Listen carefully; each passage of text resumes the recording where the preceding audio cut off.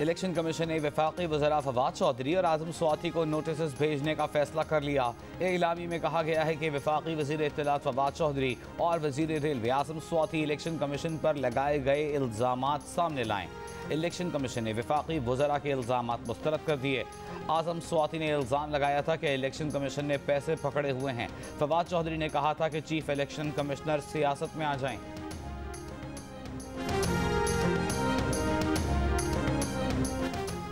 Cantonment board इंतबात तहरीक इंसाफ को लाहौर, रावलपिंडी, मुल्तान, पिशावर में क्यों शिकस्त हुई? क्या उम्मीदवारों का चुनाव दुरुस्त नहीं था? या इन इलाकों के पार्टी रहनुमाओं का आवाम से रवैया ठीक नहीं था? वजर अजम इमरान खान ने पार्टी रहनुमाओं को तलब कर लिया। इजलास में अहम फैसले मुतव शिकस्त वाले शहरों में तजियाती रिपोर्ट भी तैयार करवाने का फैसला। रिटेलर्स कितना मुनाफा लेते हैं? पाँच फ़ीसद नहीं, दस फ़ीसद नहीं, सौ फ़ीसद नहीं, बल्कि चार सौ फ़ीसद मुनाफा लेते हैं। वज़ीर खजाना शौकत तरीन की दुहाई, कहा, अब इन लोगों से पूछा जाएगा कि चार सौ फ़ीसद तक मुनाफा कैसे ले रहे हैं? किसानों को सही कीमतें देने के लिए आड़ती का किरदार ख़त्म करने का ऐलान। वज़ीर ख़जाना ने रोज़मर्रा इस्तेमाल की अशिया की कीमतों में इजाफे का जिम्मेदार कोरोना को ठहरा दिया।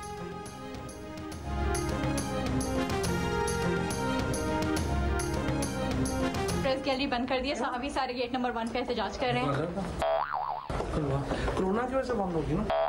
नहीं नहीं बाकी पूरी पार्लियामेंट खुली है बाकी सारी गैलरीज खुली है लेकिन प्रेस गैलरी बंद है। स्पीकर ऑफ़िस से पता किया? बिल्कुल उन्होंने तो कहा बंद है बस।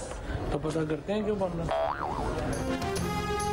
मीडिया पर पार्लियामेंट के दरवाजे बंद होने से लाइल्म वजर इतलात फवाद चौधरी का अगले दिन मीडिया का सामना करने से गुरेज। काबीना इजलास की कार्रवाई पर बाजाबता प्रेस कॉन्फ्रेंस करने की बजाय रिवायात के बरखिलाफ रिकॉर्डेड वीडियो बयान जारी कर दिया। आज चूँकि एक बड़ी मुख्तसर कैबिनेट मीटिंग थी लिहाजा मैंने बेहतर समझा के बजाय इसके इसको प्रेस कॉन्फ्रेंस में लेके जाए। यहीं से जो है वो आपको ब्रीफ कर दिया जाए। बहुत शुक्रिया। तहकीकत के लिए नैब रूल्स कब तक बन जाएँगे? सिंध हाई कोर्ट ने वजारत कानून से उनतीस सितंबर तक जवाब मांग लिया। नैब रिपोर्ट पर अदालत का आदम इतमान का इजहार। नैब प्रोसिक्यूटर का कहना था कि वजारत कानून और वजारत दाखिला ने कुछ तहफ़ात का इजहार किया था। दोबारा भेजे गए ड्राफ्ट पर कोई जवाब नहीं आया। वकील तारक मंसूर का नैब पर अदालत को गुमराह करने का इल्ज़ाम।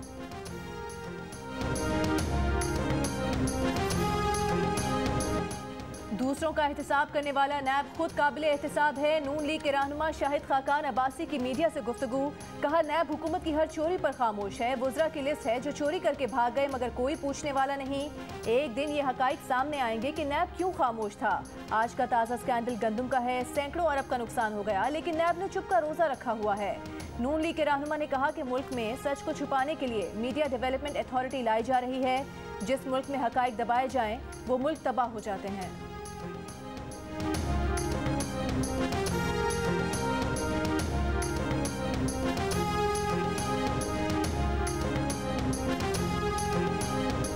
मुल्क में अक्सर सरमाकारों से मुतल तहकीक़ात शुरू कर दी जाती हैं। जो कंपनियाँ सरमाकारी में दिलचस्पी लेती हैं, वो पीछे हट जाती हैं। चेयरमैन नौगरा का कायमा कमेटी बरए सेनेट में बयान। चेयरमैन कमेटी ने पूछा, क्या ऐसा नैब करता है? ओगरा चेयरमैन का नाम लेने से इनकार, बोले, हुकूमत के सामने मामला उठाया है। वज़ीर अजम का फ़ोन हैक किए जाने की कोशिशों पर अब तक तहकीकात का आगाज़ ना हो सका। जो कमेटी बनाई गई, उसके प्रोफेशनल अरकान ही तैनात न हो सके। वजर इतलात फवाद चौधरी का प्रेस कॉन्फ्रेंस में एतराफ़। काबीना अजलास के बाद बताया कि भारत ने इसराइली कंपनी के साथ मिलकर पाकिस्तानी व्हाट्सएप यूज़र्स का डेटा हैक करने की कोशिश की थी। उसमें वजर अजम का फ़ोन भी शामिल था। एफ़ पी आर की वेबसाइट हैक कर ली गई थी, लेकिन ज़्यादा डेटा चोरी नहीं हुआ। वजरे इतलात के बयान के बाद नए सवाल खड़े हो गए कि क्या हम फिफ्थ जनरेशन वॉर का सामना करने के लिए वाकई तैयार हैं?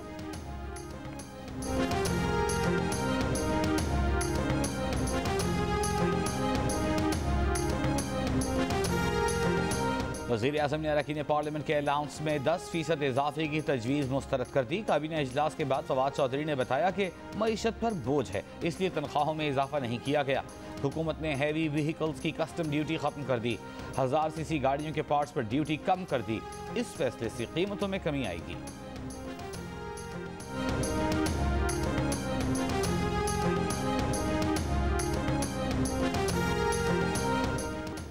की रहनुमा आजमा बुखारी ने कहा है कि हुकूमत ने कंटोनमेंट बोर्ड्स के इंतबात में शिकस्त पर बदला लेने के लिए नून लीगी रहनुमाओं की लिस्टें बना ली हैं इन फहरिस्तों में शामिल रहनुमा पर इंतकामी कार्रवाई की जाएगी लेकिन नून लीग इससे घबराने वाले नहीं दूसरी जानब जराये का कहना है कि नून लीग के अरकान साद रफीक महर इश्तियाक राना मुबशर और अफसल खोखर की फाइलें anti corruption F I A और नैब को भेजने का फैसला कर लिया गया है इन अरकान पर कब्जा माफिया और जराइम पेशा अफराद से मुबैना ताल्लुक का इल्ज़ाम की बुनियाद पर फैसला किया गया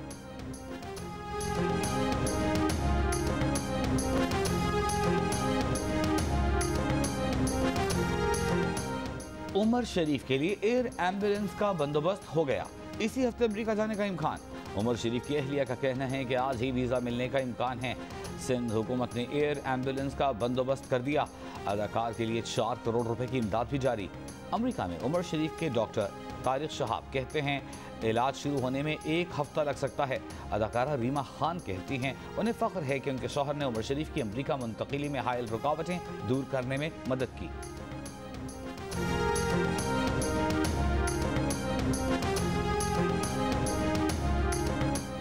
बैंक में डॉलर तारीख की बुलंद तरीन सतह कारोबार के दौरान एक सौ सत्तर रुपये छूने के बाद एक डॉलर एक सौ अड़सठ रुपये चौरानवे पैसे पर बंद हुआ।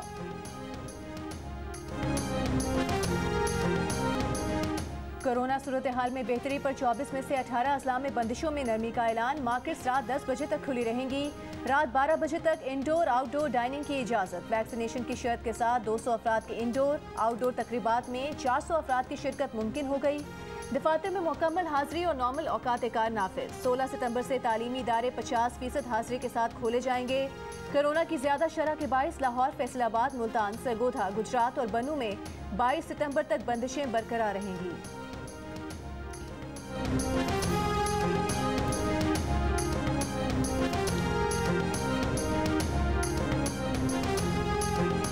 लाहौर में कोरोना का फैलाव कम न हो सका। 24 घंटों में शराह 12 फ़ीसद रही। मुल्तान में शराह 8 फ़ीसद, रावलपिंडी में सात, इस्लामाबाद में 6 फ़ीसद, फैसलाबाद और गुजरावाला में पाँच पाँच फ़ीसद रही। पंजाब भर में शराह सात फ़ीसद रही। मुल्क भर में कोरोना से मजीद अठहत्तर अफराद इंतकाल कर गए। दो हज़ार पाँच सौ अस्सी नए केसों की तस्दीक। शरह तकरीबन साढ़े पाँच फ़ीसद रही।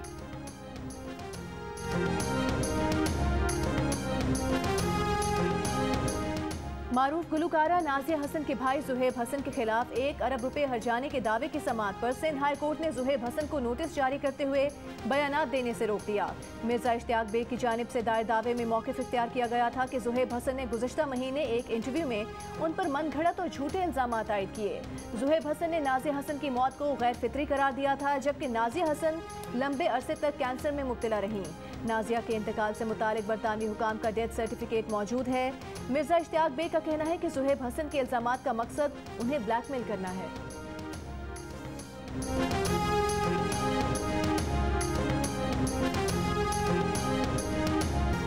कराची में शुमाल मशरक से गर्म हवाएँ चलने से गर्मी की शिद्दत में इजाफा, दर्ज हरारत उनतालीस डिग्री को छू गया।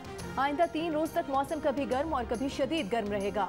महकमा मौसमियात का कहना है कि गुजरात और मशरकी राजस्थान में हवा के कम दबाव के बायस समुद्री हवाएँ मुअत्तल रहेंगी।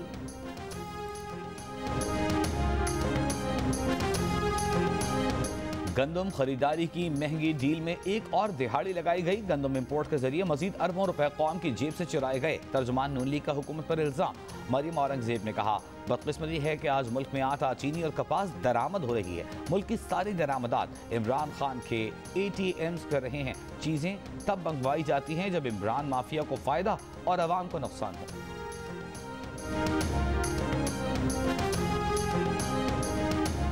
सबक chairman, senate senator Azhar Abbani ने कहा कि आज़ाद मीडिया को पार्लियामेंट की कवरेज से रोककर पार्लियामेंट के ताबूत में आखिरी की लगाई गई। आमराना अदवार में भी प्रेस गैलरीज पर ताले नहीं लगाए गए। हुकूमत मुल्क को फाशिस्ट हुक्मरानी की जानब लेकर जा रही है। तारीख ऐसे स्पीकर से भरी पड़ी है जिन्होंने जान दी, लेकिन पार्लियामेंट की शफाफ कवरेज पर समझौता नहीं किया।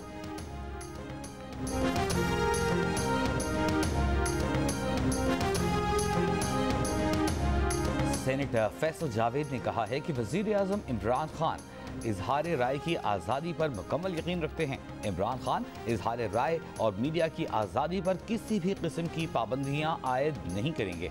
मुल्क में आज़ाद और मुतहरक मीडिया की मौजूदगी पी टी आई के मंशूर का हिस्सा है।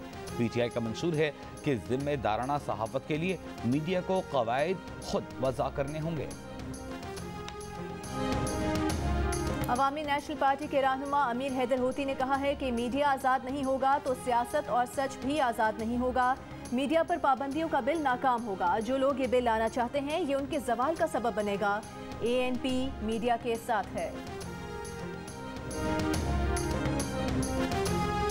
अफ़गानिस्तान की गोंतानामो बे बागराम जेल की इंट्रेंस पे हम मौजूद हैं। जैसे ही ये जेल खाली हुई है तो यहाँ पे मुख्तलिफ़ जगहों पे सामान बिखरा पड़ा है कि ये कैदियों के रिकॉर्ड थे, गोली का खोल पड़ा हुआ है।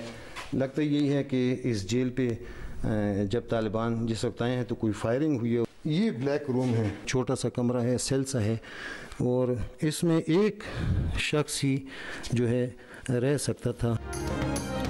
अफ़गानिस्तान में अमरीका के अकूबत खाने। बगराम जेल में तालिबान और दीगर हाई वैल्यू टारगेट्स के लिए खसूसी सेल कायम किए गए थे। बगराम जेल खाली होने के बावजूद कैदियों और अमरीकी अफवाज के जेर इस्तेमाल अशिया मुख्तलिफ़ मकाम पर अब भी बिखरी पड़ी हैं। बगराम जेल से जियो न्यूज़ की खसूसी का